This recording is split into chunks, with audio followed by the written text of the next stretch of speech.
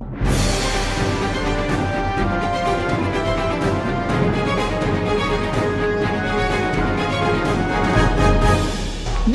in Tupac news, The shooting of Tupac Shakur once again underscores the violence that has surrounded this man since he shot the superstar. People pulled up, opened fire. Shakur and Knight. Tupac Shakur was shot several times in the chest. Shakur was pronounced dead. Machiavellian is Illuminati all through your body. The blows like a 12 gauge shot it. Uh, feel me? Bitch standing at a bar full of black dudes. Say you wanna see my scar in my tattoo.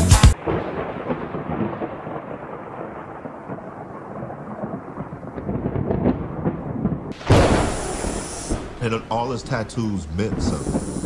He was the first rapper to be heavily tattooed. I couldn't find a place to rest until I got that thug life tatted on my chest. Fans fell in love with his swagger and with his utter refusal to tone down his message. He did make us as tattooers an awful lot of money. Only Gab can do it like this. Yo, YouTube, what up? It's your homie Gab. I'm in the building. And this is Makaveli Media. Today, I want to talk about how Tupac's tattoos left a permanent mark on society. It's real talk, man. Real talk. Or should I say, real spill. Before Pac, tattoos were frowned upon. Oh, yeah. It was like a jail thing. A couple guys had jail tattoos, or bikers was tatted all up. Now, tattoos were always a tribal thing, Afrocentric, along with body piercings and stuff like that.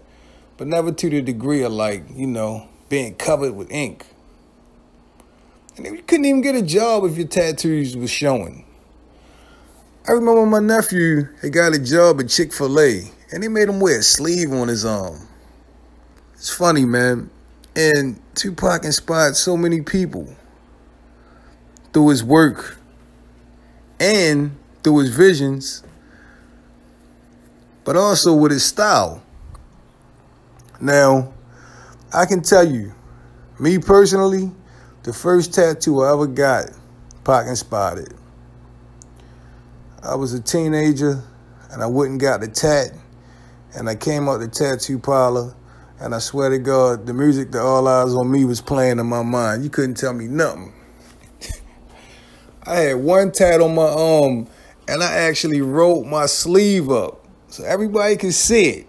Now, how corny is that? I wanted everybody to see it. Said I paid for it. I want people to check it out. So I'm walking around with one sleeve up so everybody can see my tat. But yeah, this video ain't about what Tupac tattoos meant, how many he had, or you know, why did he get them. Just talking about the the magnitude of this one guy and you know, him getting some tattoos. The ripple effect had on society. It's true. Go back, go back in the 90s, man. I mean, you might see one guy with a single tattoo, one rapper, maybe one, or somebody in an R&B group. But they have multiple tattoos like that? No way. Pac started that. And it's funny because some people say that happened after he hooked up with Madonna. You know, Madonna kind of weird. She exposed a lot of dudes to a lot of things. Look at Dennis Rodman, who also became heavily tatted after he hooked up with Madonna. But I ain't gonna give Madonna that much credit. I don't know why Pac got the tats, but he did. And it was a gradual process. He got one on his arm, then he got another one, then he got the thug life. I don't know the order, but you know, you saw it unfold. You had MTV back in the day.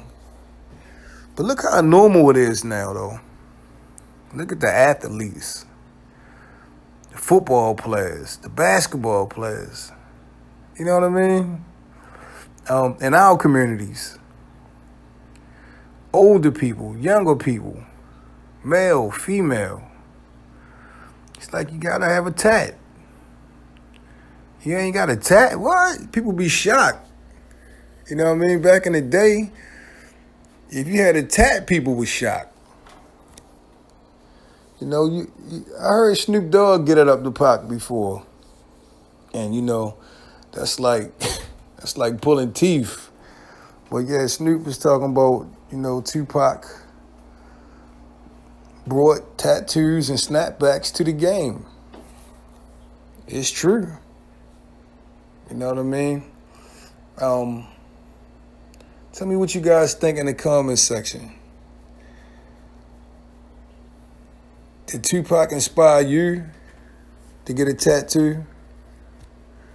You know, all these countless rappers that's tatted up.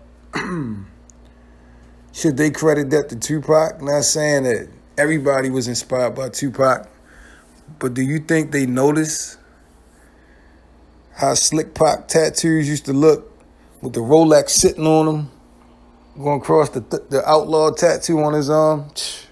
Come on, man. They had to notice it. Tell me what you guys think in the comment section. Did Tupac start the tattoo mania in hip hop? Or should I say, not only in hip hop, but in society as well?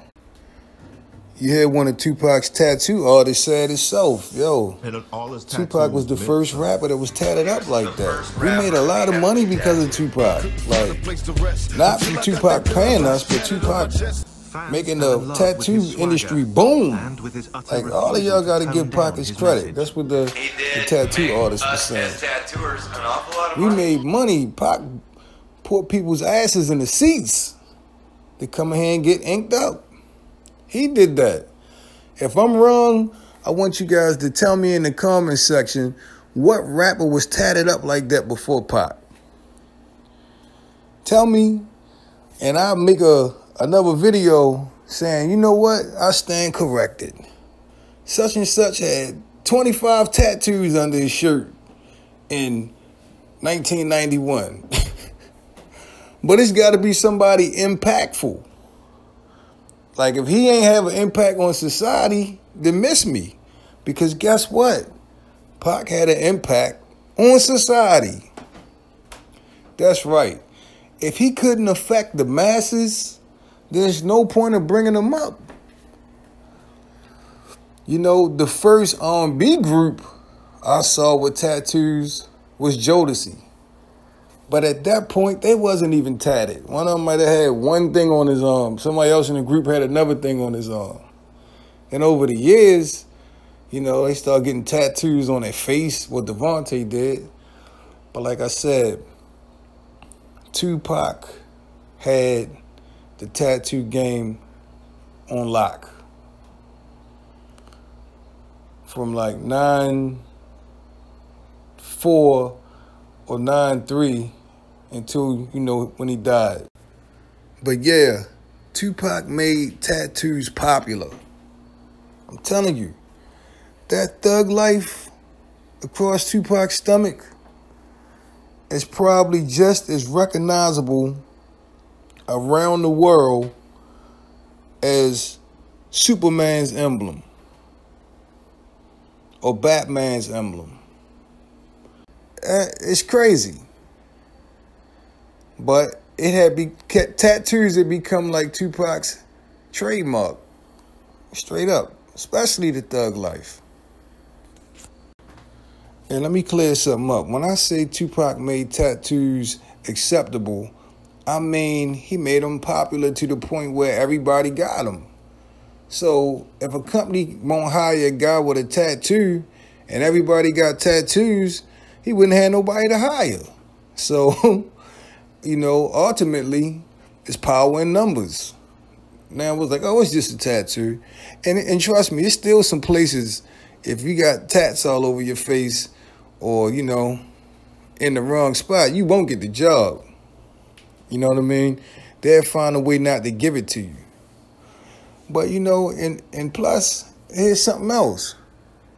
When I say Pac inspired other guys to get tats, it wasn't them guys just trying to be like Pac, but they saw how the girls was reacting to the tattoos.